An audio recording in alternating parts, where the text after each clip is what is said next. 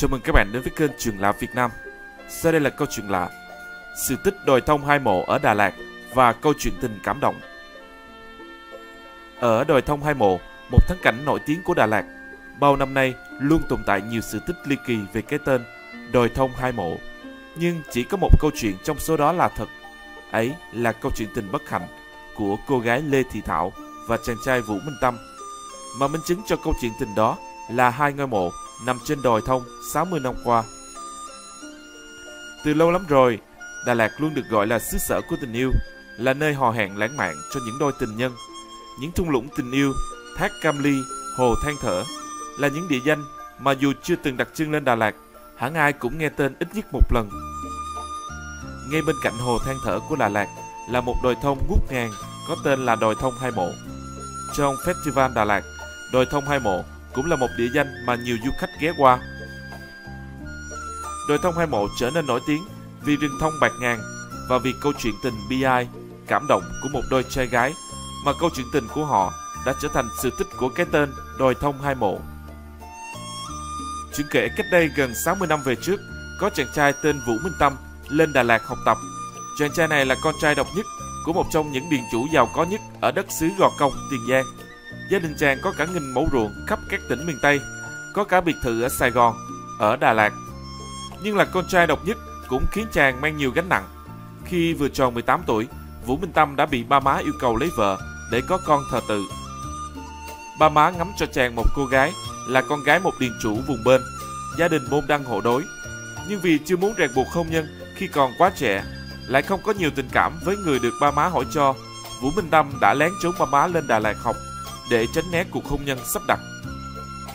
Xứ Đà Lạt thơ mộng đã chứng kiến câu chuyện tình yêu trắc trở của chàng công tử nhà giàu Vũ Minh Tâm với cô sinh viên Lê Thị Thảo. Lê Thị Thảo là sinh viên văn khoa ở Đà Lạt. Trong một lần đi dạo bên bờ hồ Sương Mai, nay là hồ Than Thở, duyên trời đã khiến cả hai gặp nhau. Xúc động trước nhan sắc mong manh và tính tình dịu dàng của nữ sinh viên văn khoa, chàng công tử xứ Gò Công đã đem lòng nhớ nhung hình bóng đó. Kể từ ngày ấy, cả hai cùng hẹn nhau cùng đi dạo quanh hồ Sương Mai và cũng chính hồ Sương Mai này là nơi chứng kiến lời hẹn thề trăm năm của đôi trai tài gái sắc. Quãng thời gian là sinh viên tuổi 18 đôi mươi, cả hai là đôi tình nhân đẹp trong mắt các sinh viên cùng khóa. Nhưng rồi thời sinh viên cũng hết, Lê Thị Tảo tốt nghiệp, trở thành cô giáo dạy văn ở thành phố Đà Lạt, còn Vũ Minh Tâm cũng về quê, chăm sóc ba mẹ già, làm tròn nhiệm vụ của đứa con trai độc nhất. Ngày chia tay, Vũ Minh Tâm có hứa với người yêu sẽ xin ba má sắm trầu cao lên hỏi cưới Thảo. Nhưng lời hứa đó không thành. Ba má Vũ Minh Tâm chê Thảo chỉ là con gái một gia đình công chức nghèo, không môn đăng hộ đối, nên nhất nhất ép con trai cưới cô gái mà họ đã chọn năm nào, dù cho Vũ Minh Tâm hết lòng cầu xin. Không thể cãi lời ba má, cũng không thể phụ tình người yêu ở Đà Lạt. Vũ Minh Tâm đã làm đơn xin đi lính.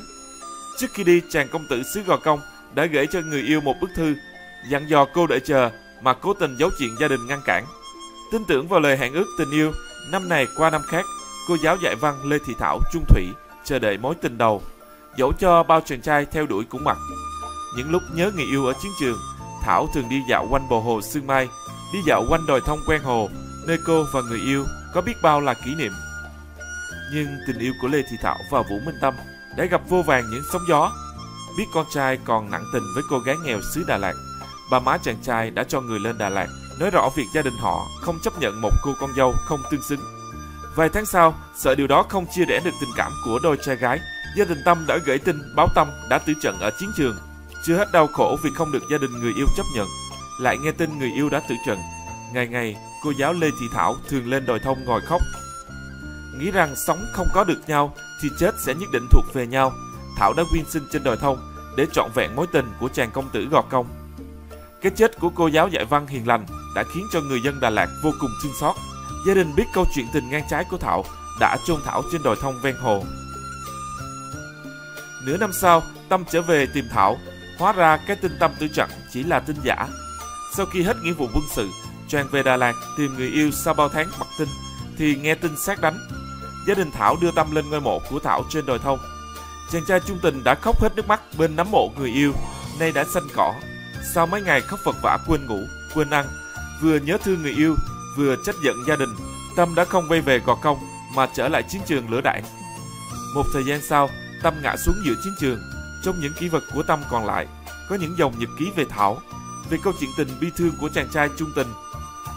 Tâm có viết một dòng trong nhật ký như lời di chúc, dặn nếu tưởng trận, Tâm mong được đưa về chôn cất cạnh mộ người yêu trên đồi thông.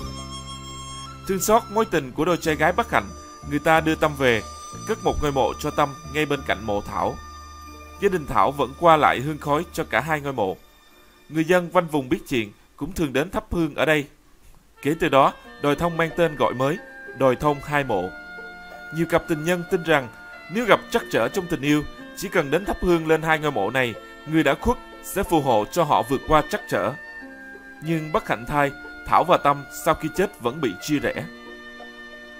Nhiều năm sau, khi Tâm đã mồ yên mã đẹp bên cạnh người yêu, không hiểu vì lý do gì, gia đình Tâm đã lên Đà Lạt, đưa mộ chàng về Gò Công, Tiền Giang, huyết chia lìa đôi trai gái bất hạnh, bất kể nguyện vọng của chàng trai lúc còn sống.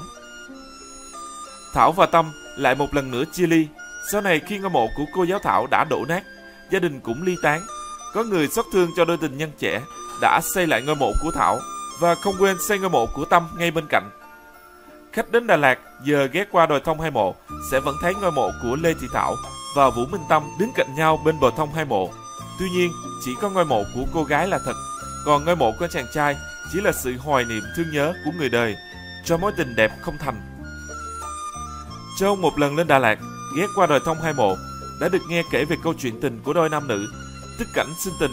Giữa Đà Lạt, nhạc sĩ Hồng Vân đã sáng tác bài hát Đồi thông hai mộ để bày tỏ sự thương tiếc với đôi tình nhân trẻ. Mời các bạn cùng nghe bài hát Đồi thông hai mộ.